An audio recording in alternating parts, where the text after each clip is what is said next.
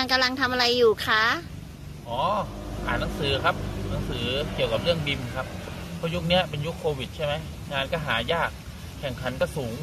เพราะฉะนั้นเราต้อง upskill อยู่เรื่อยๆครับ พัฒนาทักษะอยู่เรื่อย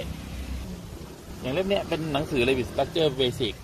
อ๋อก็ใช้ได้ตั้งแต่ 2019 ขึ้นไปถึง2022 มันคล้ายกันแค่ไม่ต่างเลย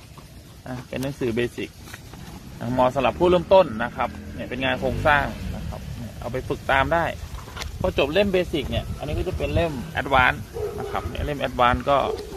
ถ้ามั่นใจว่า basic แน่นแล้วมาต่อ advance นะ ใส่เหล็กขั้น advance ดูดิ โอ้โห ใส่เหล็กขั้น advance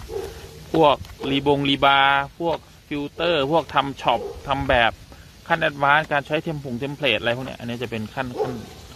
มีสตีลคอนเน c ชันด้วย แล้วก็เป็นเล่มนี้นะ อันนี้เป็น Robot เพราะผมเป็นวิศวกรไง ผมก็ต้องได้หมด ทั้ง Revit ทั้ง Robot คือ Robot ก็สอน basic เหมือนกันนะแล้วก็เป็นตัวนี้